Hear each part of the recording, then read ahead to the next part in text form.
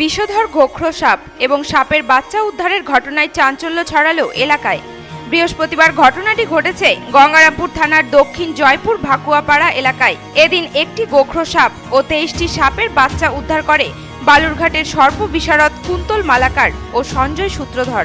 উদ্ধার হওয়া সাপগুলিকে বন দপ্তরের হাতে তুলে দেওয়া হবে বলে জানিয়েছেন সর্প বিশারদ কুন্তল মালাকার।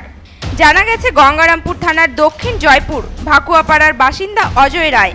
তার স্ত্রী সবিতা রায় প্রতিদিনের মতো বৃহস্পতিবার বাড়িঘর পরিষ্কার করার সময় একটি সাপের বাচ্চা দেখতে পায়। এরপর ভালো করে খতিয়ে দেখতে আরও একাধিক সাপের বাচ্চা দেখতে পায় বাড়ির সদস্যরা, যার জেরে ব্যাপক চাঞ্চল্যের সৃষ্টি হয় এলাকায়। ঘটনার পর খবর দেওয়া হয়, বালুরঘাটের সর্প বিশারদ কুন্তল মালাকার ও সঞ্জয় সূত্রধরকে।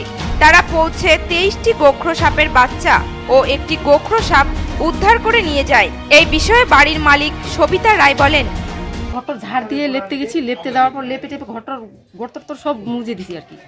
দেওয়ার পর বের হয়েছে দরজাটা লেপার সময় তখন দেখলাম যে চোখের ভিতরে একবার একটা বাচ্চা বের হচ্ছে। সাপের বাচ্চা তখন আমি একটা লাঠি নিলাম আর টর্চ লাইট নিলাম। নিয়ে তখন এরকম করে বস্তা একটা ছিল চোখের তলায়।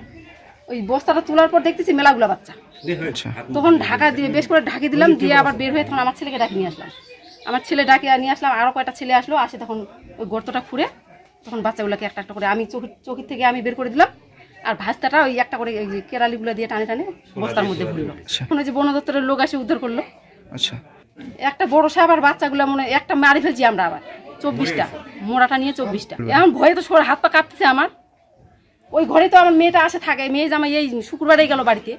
ওই ঘরেই থাকে। ঠিক আছে। এদিন উদ্ধার হওয়া সাপগুলিকে জঙ্গলে ছেড়ে দেওয়া হবে বলে জানান সর্প বিশারদ। কুন্তল মালাকার ও সঞ্জয় সূত্রধর। এই বিষয়ে সর্প বিশারদ কুন্তল মালাকার বলেন। আমরা বালুঘাট মিউনিসিপ্যালিটির হয়ে আসছি, গঙ্গারামপুরে। তো এই বাড়ি থেকে আমাকে ফোন করেছিল। তো এখানে এসে দেখলাম যে কতগুলো সাপের বাচ্চা ওনারাই কষ্ট মষ্ট করে বস্তার মধ্যে ঢুকিয়েছে। তারপরে আমাকে বলল যে এই গর্তের মধ্যে একটা বিশুদ্ধ সাপ দেখতে পেয়েছি। তো আমরা আবার সেই গর্তটা খুললাম খোঁড়া টোড়ার পরে একটা বাচ্চা পেলাম। আর সঙ্গে বড় সাপটাও পেলাম, সেটা হচ্ছে যেটাকে আমরা ইন্ডিয়ান স্পেকটিক্যাল কোবরা বলি, সেই কোবরা যেটাকে আমরা বাংলা ভাষায় গোমা সাপ কিংবা গোখরো সাপ বলি। এই সাপটা কামড় দিলে মোটামুটি মনে করেন ফাইভ পয়েন্ট টু মিলিগ্রামের মতন বিষ এক বাইটে দেয়। তো খুবই বিষধর সাপ। তো এরা কামড় দিলে মানুষ হার্ট ফেল করেই বেশি মারা যায়। তো সাপ কামড় দেওয়ার পরে আতঙ্কেই মানুষ মারা যায়। তো আমি বাচ্চা এবং মা দিয়ে চব্বিশটা সাপ পেলাম। তো এগুলো আমরা আজকে বালুঘাট ফরেস্ট ডিভিশন যেটা অফিস তো সেই রেঞ্জ অফিসে নিয়ে যাব। তারপরে যা রেঞ্জ অফিস থেকে অর্ডার নিয়ে আমরা অন্য কোনো জঙ্গলে ছেড়ে দেবো যেখানে মনে করেন খাবার টাবার পাবে জলাশয় জায়গা। গঙ্গারামপুর থেকে বিশেষ প্রতিবেদন নিউজ টুডে বিশিষ্ট শিক্ষাবিদ অসীম কুমার লাহার উদ্যোগে দক্ষিণ দিনাজপুর জেলায় এই প্রথম অত্যাধুনিক মানের বাংলা মাধ্যম বিদ্যালয় হিসেবে আত্মপ্রকাশ করল এএনপি রাজপুর পাবলিক স্কুল আমাদের এই অত্যাধুনিক মানের বিদ্যালয়ে অভিজ্ঞ শিক্ষক শিক্ষিকাদের দ্বারা ডিজিটাল ক্লাসরুমে শিক্ষাদান করা হয়। সেই সঙ্গে বিদ্যালয়ের ছাত্রছাত্রীদের কম্পিউটার শিক্ষা, নাচ, গান, অঙ্কন, শরীরচর্চা অত্যন্ত যত্নের সঙ্গে শেখানো হয়। এর পাশাপাশি বিদ্যালয়ের ছাত্রছাত্রীদের জন্য মেডিকেল চেক স্কুল বাস, পরিশ্রুত পানীয় জল, গ্রন্থাগার এবং সিসিটিভি ক্যামেরারও ব্যবস্থা রয়েছে।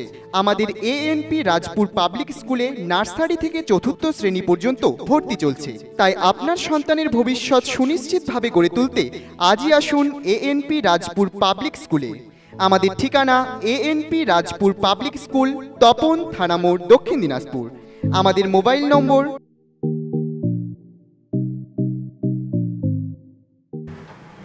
তপন ব্লকের বা তপন থানার আপামার জনসাধারণের কাছে আমার এনপি রাজপুর পাবলিক স্কুলের পক্ষ থেকে আবেদন যে আপনাদের সন্তানকে ভর্তি আমার স্কুলে করান এবং আপনাদের সন্তানের উজ্জ্বল ভবিষ্যৎ তৈরি করার পক্ষে অসীম লাহাবদ্ধ বদ্ধপরিকর